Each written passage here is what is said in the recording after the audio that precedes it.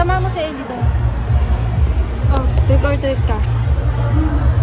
Ay, pabili-bili ka pa ng ganito. Sabi mo, magkakatabaw. Hindi, sabi mo, sige na po. Ha? Ubus na po.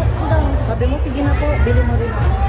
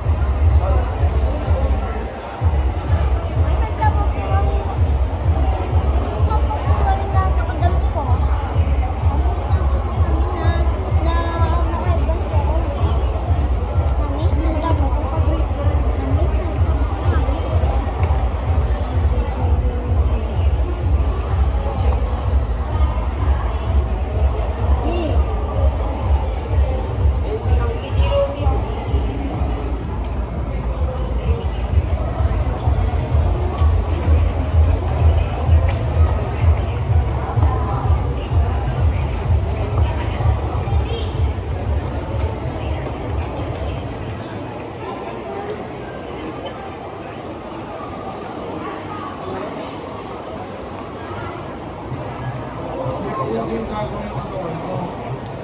Ano, dyan na kayo? Dyan na kayo?